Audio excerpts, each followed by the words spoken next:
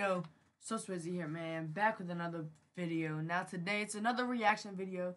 Um, my last reaction video right here, it did pretty well. So I'm thought, why not do it again? So this is off a YouTuber. Um, his link's gonna be down in the description to this video.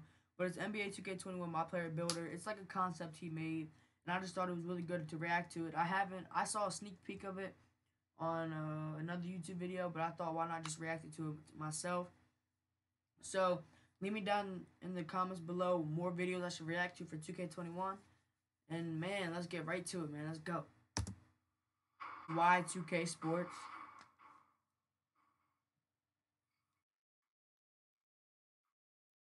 So it's alright, sorry. I have to um it's not you're not gonna hear any sound effects because it's copyright music in the back.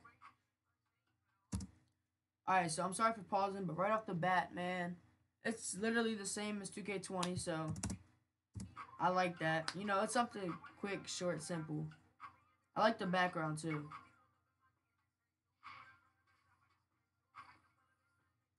Oh, so they have percent. Like, if if he was to add percents in 2K, that would be good to like show specifically like how good you are at something else. Like, so for him, he would be like a a defending slash finisher type thing. That's what he would be. That's for the speed, the vertical, and the strength, which would also be a pretty smart idea. So then here it looks like what he wants to go is more. So he likes percents, and I think that would be pretty good for 2K. Now I, uh, personally, I just want to go back to 2K17, 2K17 ways of just sharpshooter, playmaker. I just like that better. Now I'm gonna get clown for that. That's just my type of thing. But I like the percents, and then it shows you your badges on the side. That would be a three level score, but yeah, I actually like I like how we did that, and I think that's a smart thing that could happen. And it shows you the speed and the physical stuff over there before. So that's cool too. So it's like the same concept, just like better. So what's that accent? Is that like how he talks? Oh, body type would be like athletic. I would like that, the accent all like Australian and from Germany. That's that would be good. I just don't think like you would need that unless they add like a really good storyline like 2K17, like 2K20 and 2K20 and 19 and 18. They don't have a good storyline.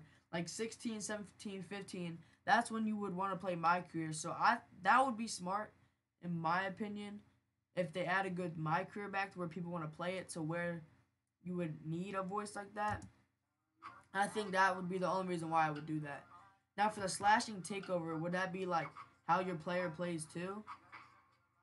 Because that's confusing to me a little bit, but he didn't really go in depth with that. So it just says save and build.